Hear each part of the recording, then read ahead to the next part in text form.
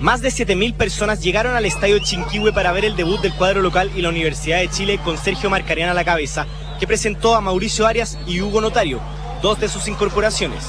La escuadra de Marcarian se puso en ventaja a los 12 minutos con un remate del defensor Juan González. Tres minutos después, Walter Montillo convirtió el 2-0 gracias a un excelente pase de Manuel Villalobos.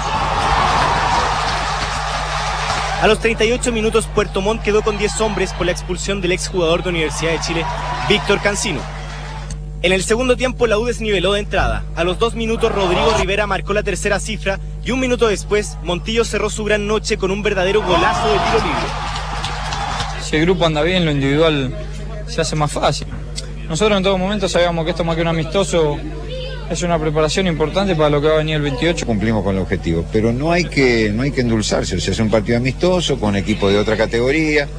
Este, se ganó este, y, y, tuvo buen ritmo. Buen debut para la U y su nuevo técnico que se preparan para la fase previa de la Copa Libertadores, donde enfrentarán al poderoso Pachuca mexicano. La pretemporada azul continúa este jueves cuando enfrenten a Audax Italiano.